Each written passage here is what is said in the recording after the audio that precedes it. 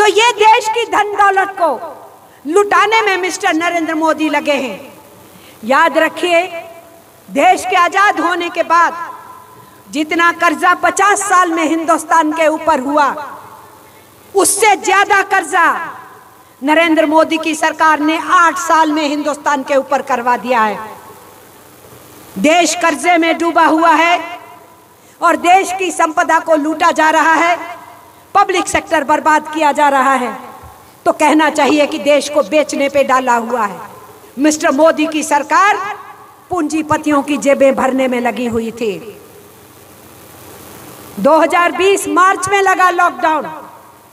2021 मार्च में एक साल जब पूरा हुआ। मोदी की सरकार के आंकड़े क्या बताते हैं? मोदी की सरकार के आंकड़ों से मालूम हुआ कि अंबानी ने 128 फ़ीसदी मुनाफा कमाया जब हमारे लोगों की रोजी रोटी छीनी हुई थी।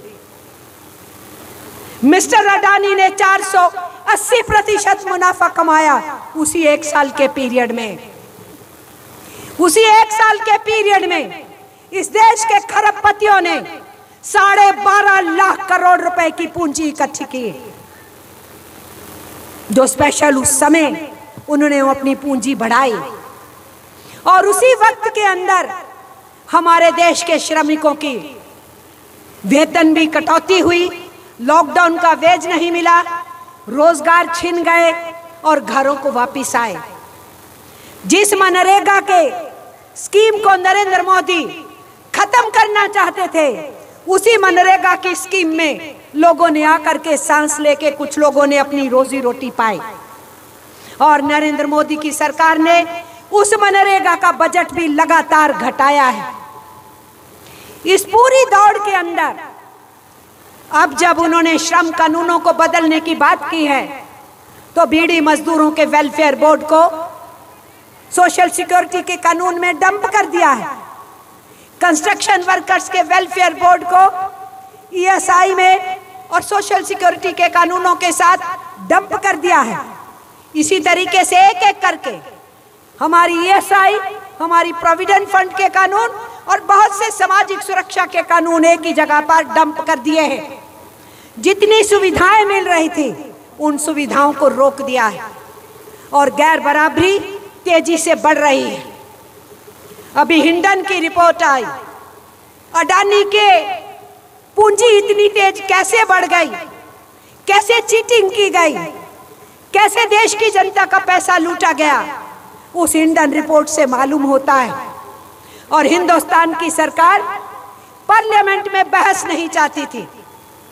उनको जवाब देना पड़ेगा कि अडानी की पूंजी, जो कुछ वर्षों पहले पूंजीपतियों में उनहत्तरवें स्थान पे थे, वो अचानक दूसरे और तीसरे स्थान पे कैसे पहुँच गए? उनकी पूंजी लाखों करोड़ों में कैसे हो गई? हिंडन रिपोर्ट ने हवाला दिया है। तीस हज़ार करोड़ हमारी एलआईसी पब्लिक सेक्टर की, जो जनता का पैसा है उस एल में, वो नरेंद्र मोदी की सरकार के कहने पे अडानी की कंपनियों में लगाया गया। बयालीस हज़ार करोड़ रुपया सरकारी bank, State Bank of India का प्रधानमंत्री के कहने पे अडानी की कंपनियों में लगाया गया। इसी तरीके से हमारी पेट्रोलियम की गैस की दूसरी, तीसरी जितनी सरकारी कंपनियाँ हैं, पब्लिक सेक्टर है, उनको कहा गया कि तुम अडानी की कंपनियों में पैसे लगाओ।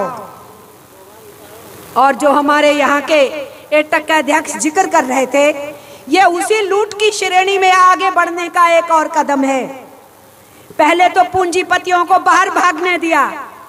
पैसा लूट के हमारी जनता का सरकारी बैंकों से भाग गए। जो देश के अंदर थे उनकी लूट की बचाने के लिए सॉल्वेंसी का कानून ले आए। और अब ये तीसरा नया शगुफा है कि जो लुटेरे हैं, उनके साथ समझौता करो। तो ये देश की धन दौलत को लुटाने में मिस्टर नरेंद्र मोदी लगे हैं। याद रखिए, देश के आज़ाद होने के बाद जितना कर्जा 50 साल में हिंदुस्तान के ऊपर हुआ, उससे ज़्यादा कर्जा नरेंद्र मोदी की सरकार ने आठ साल में हिंदुस्तान के ऊपर करवा दिया है। देश कर्जे में डूबा हुआ है और देश की संपदा को लूटा जा रहा है, पब्लिक सेक्टर बर्बाद किया जा रहा है। तो कहना चाहिए कि देश को बेचने पे डाला हुआ है। ऐसी परिस्थिति में आज हम हैं और इन स्थितियों में पिछले साल रिपोर्ट आई थी। देश की कुल जो धन दौलत है अंतरराष्ट्रीय रिपोर्ट आती है हर साल में। उसमें सारे देशों का लेखा जोखा होता है। उसमें हिंदुस्तान के चैप्टर में लिखा था कि देश की जो कुल धन दौलत है, मान लो सौ पैसे हैं। उस सौ पैसे में से ऊपर का जो एक फ़ीसदी अमीर है 140 करोड़ में एक फ़ीसदी कितना होगा? मुश्किल से डेढ़ करोड़ लोग। उनके पास देश के कुल पैसा, अगर 100 पैसा है, उसमें से 22 पैसा उनके पास है। और जो देश देश की नीचे की जनता है, सबसे गरीब से लेके ऊपर को आते जाओ। 50 फ़ीसदी जहाँ आ जाए, यानी 70 करोड़ हिंदुस्तानी। 70 करोड़ हिंदुस्तानियों के पास उस सौ पैसे में से केवल तेरह पैसा आता है कुल धन दौलत का। ये थी पिछले साल की रिपोर्ट। जो उससे पिछले साल की पेश की गई थी।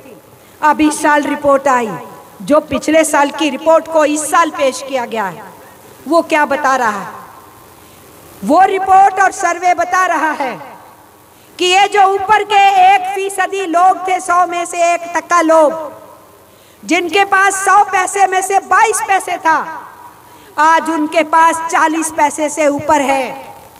और ये जो नीचे के पचास फ़ीसदी लोग थे, यानी सत्तर करोड़ हिंदुस्तानी, जिनके पास सौ पैसे में से सिर्फ़ तेरह पैसे था, वो अब घट करके केवल तीन पैसे रह गया है। नरेंद्र मोदी बोलते हैं, सबका साथ, सबका विकास। ये सबका साथ, सबका विकास नहीं है। अडानी अंबानी और उनके जैसे पूंजीपतियों का विकास है और हिंदुस्तान की आम जनता का विनाश है। इसके साथ साथ जब आप कहते हो, हमारी पगार बढ़ाओ, हमारे को काम की सुरक्षा दो, हम सबको पेंशन का भागीदार बनाओ, हमको बिजली, पानी, शिक्षा सस्ती दो, हमारे सिर के ऊपर भी छत दो, हमें कुछ ज़मीन का टुकड़ा दो। सरकार क्या कहती है? टैक्स के पैसे से तुमको ये सब कुछ दे दे। टैक्स पेमेंट करते हैं कुछ लोग और इनकम टैक्स पेयर्स के पैसे से तुम्हें दे। अब सच्चाई क्या है? सच्चाई ये है कि ये भी सर्वे हुआ कि जीएसटी के ज़रिए से जो टैक्स का पैसा इकट्ठा हो रहा है तो पता लगे कि अमीर कितना दे रहे हैं और गरीब कितना दे रहे हैं। तो जो ऊपर के दस फ़ीसदी है यानी लगभग आठ करोड़ लोग। वो कुल जो जीएसटी का पैसा टैक्स से इकट्ठा होता है, उसमें से सौ पैसे में से सिर्फ़ तीन पैसा दे रहे हैं। और ये जो नीचे की सत्तर करोड़ जनता है, जिसके पास कुल धन दौलत का केवल तीन पैसे बचा है, ये कितना दे रहे हैं? ये सौ पैसे में से चौसठ पैसा जीएसटी के ज़रिए से सरकार को टैक्स दे रहे हैं। और सरकार इन्हीं गरीब गुरबा को कहना चाहती है कि तुम्हें हम क्यों दे दे? टैक्स पेयर के पैसे से। सरकार के मुँह पे इस सच्चाई का तमाचा फेंकना चाहिए। वही गरीब गुरबा जनता टैक्स पेयर है। जिस गरीब गुरबा जनता के पास कुल धन दौलत का इतना सा शेर है, कौन देश चला रहा है? समाज कौन चला रहा है? धन दौलत कौन पैदा करता है? खदान में भी मजदूर है। उसकी ढुलाई करके फैक्ट्री तक पहुँचाने वाला भी मजदूर है। फैक्ट्री में उस खनिज पदार्थ से स्टील बनाना अब्रक बनाना, कॉपर तैयार होना, बॉक्साइट तैयार होना, हीरे जवाहरात का तराशा जाना, वो सब भी मजदूर करता है। अगर मजदूर आयरन और निकाल रहा है स्टील बना रहा है, लोहे की छड़े बना रहा है तो मजदूर ही रेल पटरी बिछा रहा है। मजदूर ही रेल पटरी के ऊपर चलने वाली गाड़ी के इंजन बना रहा है और कर्मचारी ही उन गाड़ियों को चला रहा है।